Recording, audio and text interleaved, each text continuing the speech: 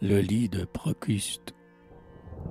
Quand, pourpre de plaisir, Mars en tes bras faiblis, ô Vénus, et, laissant retomber son grand buste, livre au coussin sa tête olympienne et fruste. Il s'endort, brut et Dieu, ton égal en ton lieu. Mais, ni brute ni Dieu, l'homme y veille et pâlit. À cet amant jamais ta couche ne s'ajuste. Son front et le chevet, comme au lit de Procuste, y sont en éternel et meurtrier conflit. Vénus ne descend plus, si tu ne nous attires que pour faire de nous tes profanes satires ou tes vins soupirants, mais tes époux non pas.